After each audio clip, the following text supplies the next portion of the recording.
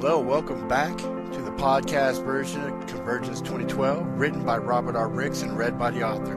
The story contains mature content and harsh language. There may be some content which may offend some listeners. If you're easily offended, please stop listening now.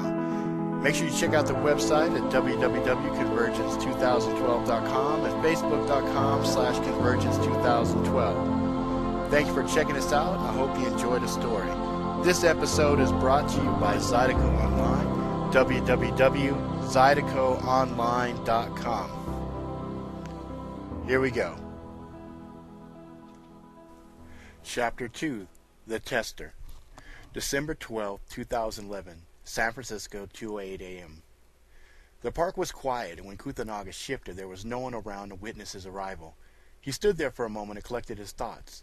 Undoubtedly the Watchers had arrived, as he was the last to have shifted. Five thousand Watchers were dispatched across the planet to mark the worthy and bear witness to his test. A single year to test and choose roughly one billion humans. It was a daunting task. He stood there and shook his head slowly. He knew it had to be done, and he was destined and prepared to play his role, a role he had spent the better part of a thousand years preparing for. He paused for a brief moment and could feel the others. He was satisfied that they had all made it. The fact that the others had survived the shift unscathed was a testament to their training and preparedness. Still, he wondered if it was right. He knew they couldn't save all the humans. Most of that was the humans' fault, but still, he wished there was something that could be less intrusive to gauge the ones who could be attuned. He closed his eyes and placed his hand over the large necklace which hung around his neck. It was similar to the necklace Denari and the other Watchers possessed, just three times as large, and also one of the original ten that survived the arrival of the Anakai on Earth. He had been on the crust many times during his training and knew how to blend in well with the humans. In fact, he had already managed to secure several identities as well as amassed a large fortune which would aid him on his mission. Kuthanaga stood five foot five inches tall and had deep sea green mane of hair that was wild and flowing. It gently hung to the middle of his back. On his face there was a beard neatly trimmed into a V shape that extended two inches below his chin. His features were strong and bold, yet there was a soft sadness around his eyes. He had eyes of a man who knew his own destiny and wasn't afraid of it. His skin was a soft tan with distinct difference of a shimmering pale red set of markings that covered his entire body. These fractal markings were identical on both sides of his body, forming an interconnecting tribal design that extended from the center of his chest outwards. His eyes were the deepest blue, and the storm that raged within shifted and flowed constantly. Kuthanaga's build was very muscular, with muscle bands not seen on humans. It was one of the distinct differences between the men and women of his kind. The women were almost identical to the human women, where the men were physically stronger with extra sets of muscles which allowed them to easily outperform a normal human male twice their size by a factor of four. He took a deep breath and with pure thought alone activated the Gaklukun that hung around his neck. The center of stone flashed for a brief second and his form shifted and grew outwards. He stood six foot six inches tall with a deep brown skin complexion, heavy build to support half of his actual strength and no hair on his face or head. His eyes were piercing, and he chose a dark green for the final color. He chose the build of a linebacker, and yet moved stealthily like a cat. In this form, he was known to the humans as Desmond Washington. He was wearing a silk suit, black in color, with slight green trim. The tie was green and had a pattern of a great tree with roots running the bottom length of the tie and branches reaching up through the top. He looked like he was worth a million dollars, and if truth be told, he was worth much, much more. He sighed and began walking. The sigh was not a sigh of boredom, but more of pity. He could hear a short distance away several people sleeping in makeshift shelters, and the frost on his breath told him it was cold out, cold enough to kill humans.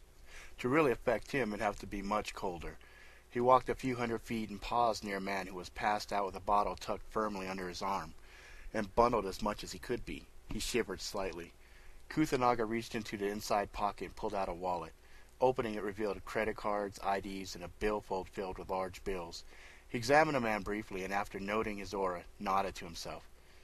The morning will be much better, friend. Sleep well. His hand motioned over the sleeping form, and warmth passed from him to the shivering man. He could feel the cold pang of addiction, the heartache of lost love, the pain of the system treating this man like a piece of filth. The shivering passed. He slipped the man five thousand dollars and took the bottle. You won't need this anymore. I wish your last year to be a happy one.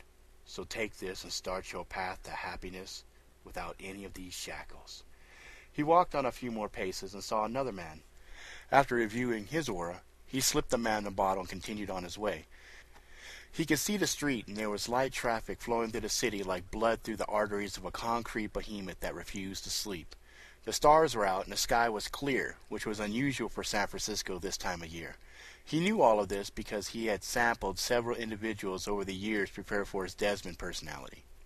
The stars dully winked at him, and the moon's glow was a dim version of its natural radiant glory. He missed seeing things for what they really were, and he was anxious. His thoughts were interrupted as he heard footsteps quickly approaching. Three thugs had chosen the wrong guy to try to rob. Granted, two of the three were bruisers, and they were armed with knives.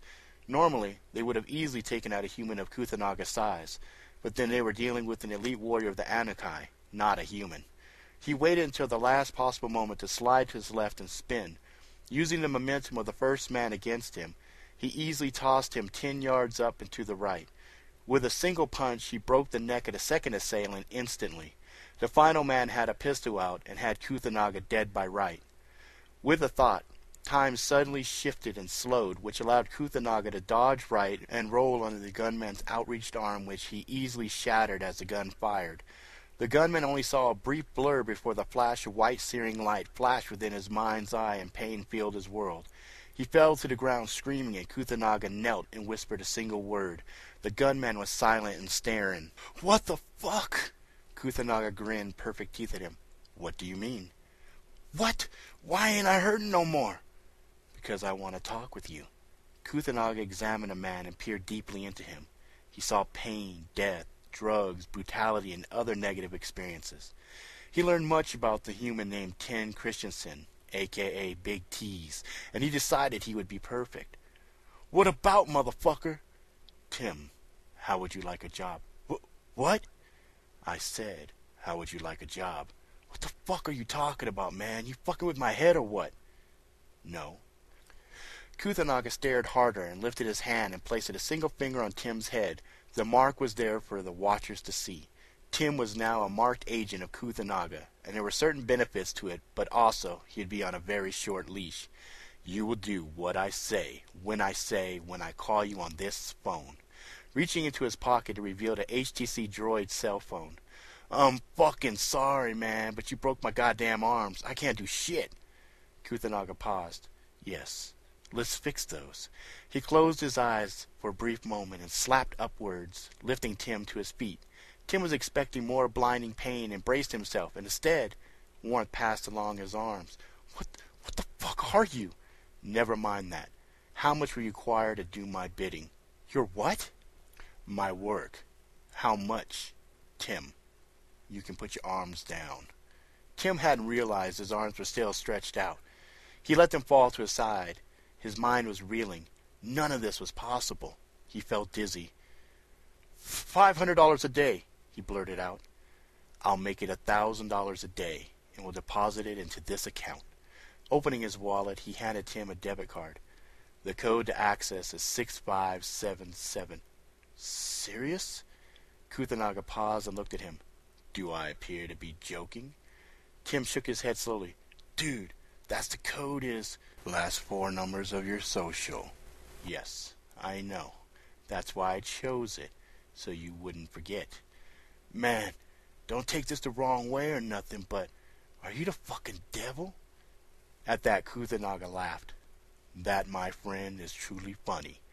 I'm sure when everything is said and done, many of you will feel that way. But some will think I'm far from that. So do we have a deal? Tim looked at his fallen friends and then slowly looked from his arms to Kuthanaga and swallowed slowly. His eyes darted to the pistol on the ground for just a brief moment. Kuthanaga retrieved the pistol and handed it to Tim with a grin. You were looking at this. Do we have a deal? Yes or no? Tim nodded. Good. First things first. Kuthanaga motioned over Tim's body, and the addictions to meth, heroin, cigarettes, and alcohol were purged from his system, and Tim dropped to the ground as his body reeled from it. I could have made this painless, but I want you to remember it. That way, you won't go back to the poison. I'll know if you do, and worse, you'll know if you do. So your job for today is to stay clean and get your woman clean. If you can't get her clean, then lose her. I'll call on you soon. Be ready. Tim sat there for a few moments breathing. His head was pounding, but for the first time in a long while it was clear. He could think. He took a single long deep breath and was amazed that he didn't fall into a coughing fit. Sure thing, man. Any fucking thing you want. Clean up the language. You're working for me, and I don't care for it. Uh, okay. No problem, man. Kuthanaga turned at that and started on his way again. Tim looked at his pistol, which suddenly felt very heavy, and watched the tall man until he was out of sight. He slowly stood and glanced at his friends. Fuck, guys, I'm sorry. He started running then and didn't stop until he got home, 36 minutes later.